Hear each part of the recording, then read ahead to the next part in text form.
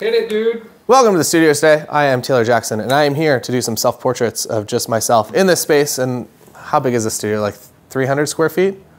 I'm not an architect. I have a tripod to take my self-portraits, and I have the Canon R with the super wide-angle lens, the 15 to 35, which I'm quite a fan of. How this video is going to work is right now we are going to be taking all the images, and then at the end we're going to be editing them all in Luminar 4, and we're going to use the artificial intelligence of Luminar 4 to make my life a heck of a lot easier. Let's get to the self-portraits, shall we? I think first we're going to have to bring back a character that hasn't hasn't been here in quite some time, and that is business coach. I'm a business coach, yeah. Not a tennis coach, no. Not a tennis coach. There we go, we're halfway there. Yeah. I'm a business coach. Look at the bag, it's coach. Yuck. Not a tennis coach. And now you might be saying to yourself, well, you got the windbreaker, you got the headband, but where's the racket? When you're ready, give it a serve, baby. Not me. Oh! Here we go. I feel like the usual go-to pose is something like this. Business coach. I'm not a tennis coach. I'm a business coach. I'm not a tennis coach. Now, but I do teach some tennis on the weekends. Where should I be though?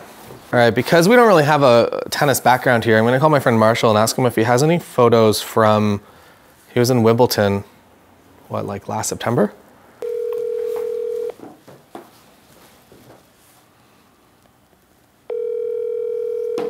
Sadly, I forgot my beautiful Peak Design tripod at home. So I'm using, this is my, my grandfather's tripod. The reason I'm using the Canon R is because it has this front-facing screen. It's, um, it's quite helpful. Rather than, you could, if you're on any other system, you could just use the app and you could take the photos of yourself. But I prefer to just set up the scene and then set the timer and then, then run into the scene. So right now what I'm looking for is just a full body photo of myself from what I would suspect to be kind of a normal height. So if I'm a, a person in a scene taking a photo, what's a, what's a tennis pose like? Something like this? Is that a tennis pose? Yeah, I see. Okay. All right, let's set this 10 second timer. All right, how's that look? That looks pretty nice. Do a few more variations and uh, pick the best one. My settings, one slash two hundredth of a second, which means I can't do a jumping serve because it just blurs out. But uh, I think we got what we needed. We're gonna move on to the next, the next self-portrait. Still here. Great. Business coach, revived. One last time. Now the next self-portrait that I see happening a lot that I've never actually had one is always, I don't know why, why is there always a ladder? I guess because it's a functional piece of item. Like there's always a ladder in a studio and it's always a black and white portrait, sideways vertical, of leaning up against the ladder. So we're gonna do that one next. Usually it's a wooden ladder. I feel like the texture, it's, it's more homey and brings in a different vibe, but I think a metal ladder in black and white, like this.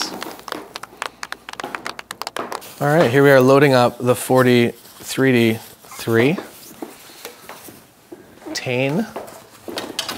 What does Tane wear? Vertical mode.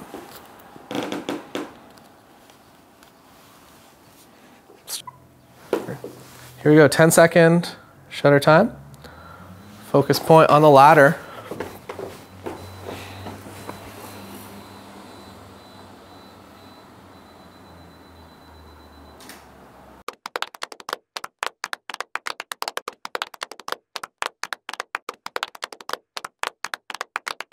I think the most important photograph ever taken is the photograph of a Pop Tart on the front of the Pop Tarts, the blueberry one. Oh, I'll wear the green shirt that I've worn The last eight a thousand videos, 1,000 videos. It's a very nice shirt. That's a good shirt.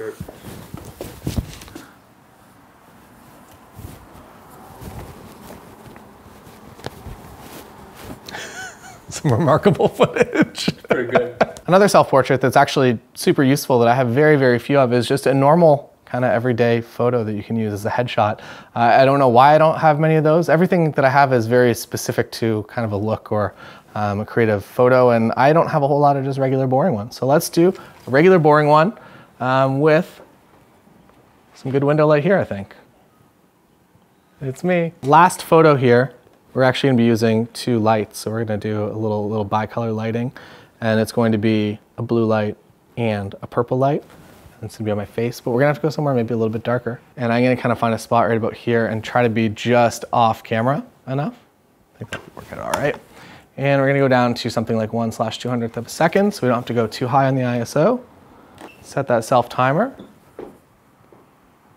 All right, so these lights, they are the Godox R1s, and essentially they're just RGB lights, so you can make them whatever color you want, and there's also some patterns if you wanna make them strobe. You can do whatever. They're very cool and very useful for wedding days. As you can see, this is some pretty good light from just a single light source here. I can turn this guy off. Um, if you're in a situation where everything's just kind of dark and you just need that extra light, this does a pretty good job. And they come, they look like this little hockey puck, but then they come with a little magnetic adapter here. And then they make this little, this little soft snowball, soft snowball light. Now we are going to get into editing in Luminar 4. So join me on my computer to, to go through these photos and see the, see the photos that you've already seen, but to see how we get there from the straight to camera versions. Do do do do do do. That's my, my sports introduction. Here we are now to actually edit this image here. I am going to begin, I think just with the, the AI image enhancer and not even the AI portrait enhancer. Um, I think that that is already doing really a fantastic job. So I'm gonna come down here, the little, little face button.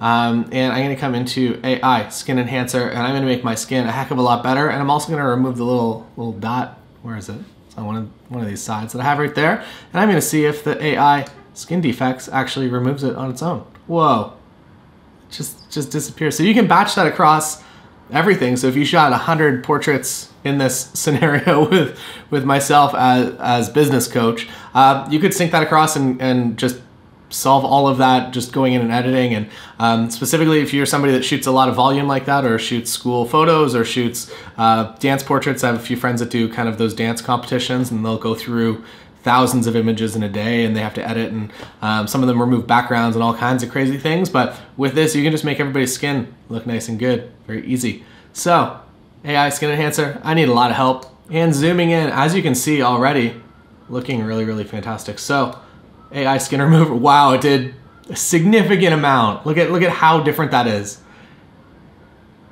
From the beginning to that, looking a lot better already. One day, one day I'll make it as a male tennis model. All right, so I'm already very happy with that photo. I'm gonna come down here into the AI portrait enhancer and I don't need any face light. Um, I might add a little eye whitening, going to eye enhancer as well. Uh, basically what this does is it's going to just really kind of fine tune my eyes as you can see um, that it's gonna basically give it as much three dimensionality as it kind of can uh, but still keeping it natural. It's not gonna look like those like crazy over processed apps that um, really just kind of that you can tell have been edited. That looks pretty good. And again we're zoomed in but from a distance this is kind of what it looks like and I think that overall that it really brings a lot of good attention to my eyes. So I am very happy with this image overall to give you a quick before and after.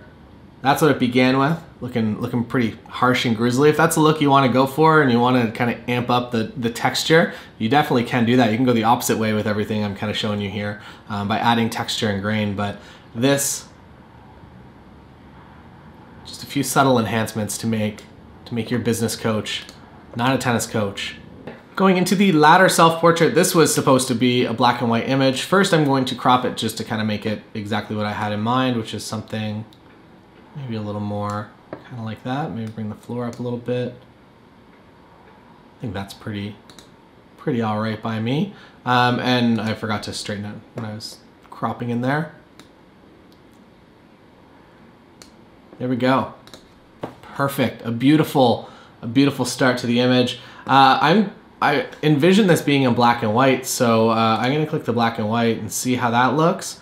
And I'm pretty happy with that to begin with. Uh, as you can see, there's some, some elements in the background that I would like to remove, as well as my face kind of got a little bit darker. So I'm going to add a little bit more face light just to my face. As you can see, it brightens up there. If you wanted to, in Essentials here, you could come in and you could do your black and white conversion just manually and set it up exactly as you want. But to my eyes, that looks that looks pretty good. So I'm gonna come up here and I'm actually going to go to erase and I'm gonna get rid of all of these elements that I don't really want to be part of the scene. And here we go.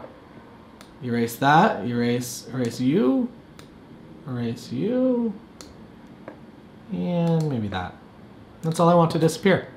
and I will just make it disappear. It's, it's very accurate and very good to just know what it should put in there um, over top of what actually exists in real life. There you go. Everything is now gone. Honestly, I'm pretty happy. This is kind of what I had in mind with this this kind of traditional portrait, black and white with a ladder um, that I've seen over and over again. And if I wanted to, I could sync my settings to these other beautiful versions of the ladder. Um, I would say that the original is maybe a little more, a little more professional looking. And if, if I saw that, I'd be like, another ladder photo. Why, why is Taylor posing with the ladder? But then I'd see this one and I would be impressed with with this person's uh, skills of, of climbing climbing skills. Moving on to the more boring image of just just my face and smiling and facing the camera. Um, I'm going to go into the portrait looks here, and I am going to begin with the AI face enhancer. And we're gonna see just what that one button click does because I guarantee it's gonna make my face look a heck of a lot better, and it does. So that one button click is already looking a heck of a lot better. We'll go a little zoom in here. This is the after and the before. As you can see, it still looks natural. This is 100% preview as well. Like you, you never really look at something of this size unless you're printing it. And it looks really great. Like I'm, I'm very happy with that. And if you're interested, as I showed before, you can use the AI skin defects removal and it'll remove all little red dots from you. Um, and you can batch that across. So um, as you can see, very simply already a much better image. And I'm quite honestly pretty happy with that overall. Like I don't really need to, to go beyond that. I feel like it's important to, to know what final images should kind of look like and they should still have real life to them. And I feel like this does and, and I'm pretty happy overall with it. All right, so moving into our last image for the day here. This is the bi-lighting setup. Two of those little Godox uh, R1s and one is on purple, one is on blue. And I'm going to use the AI face enhancer, but I'm also going to be adding saturation back to this photo because I know that it's it's a, a very unusual photo uh, for to try to interpret what's going on really. And I'm gonna come down here to color and I'm just gonna add a little bit of vibrance. Um, I find that adding vibrance is usually the way that I go rather than adding saturation. And I would say that's starting to look pretty good already. I'm happy with my skin in this photo. As you can see, it understands what a face is, even though I have this crazy colored lighting on my face. And it just makes it look a lot more professional very, very quickly. So I'm gonna crop in so you can't see that I'm just holding the lights here. This looks pretty good. I should have shot this in vertical format, but we didn't, so I'm, I'm making it in vertical format now. I'm gonna dial this back just a little bit, and I'm gonna enlarge my eyes just a little bit. Something like that I'm pretty happy with. That's a very easy one or two click solution to create an image of that style. If we had more lights, we would have lit up the background and made it look a heck of a lot better. But um, for a simple self-portrait of holding both of the lights and also controlling the 10 second timer, I'm pretty happy overall with what we did. Thanks for watching today, and I hope that you enjoyed. If you're interested in getting Luminar 4, there is a trial, a seven-day trial in the description below. You can get it and, and try it out with all your photos. Uh, with portraits in normal lighting conditions, is a little crazy, but in normal lighting conditions, it really just makes all of your images look a heck of a lot more professional with one or two clicks, um, as well as kind of some fine-tuned adjustments to get your exact look dialed in. Um, and you can also save your looks and you can just easily apply them and batch them across the board. And as I mentioned specifically to the blemish removal uh, at the beginning here, uh, that this was, uh, it, it knows that there's a little red dot here that it wanted to make disappear and, and it went and did it. And if you can sync that across, like if you're photographing a wedding and the groom has a little dot like I had there and it just makes it all disappear, it's gonna save you literally hours of work. So uh, try it out. For landscapes, it's amazing. For portraits, it's amazing. And we're going to be getting to a few more kind of just general shots next week with uh, Luminar 4. But thanks for watching and uh, I hope that you enjoyed. And don't forget to get that seven day trial in the description below.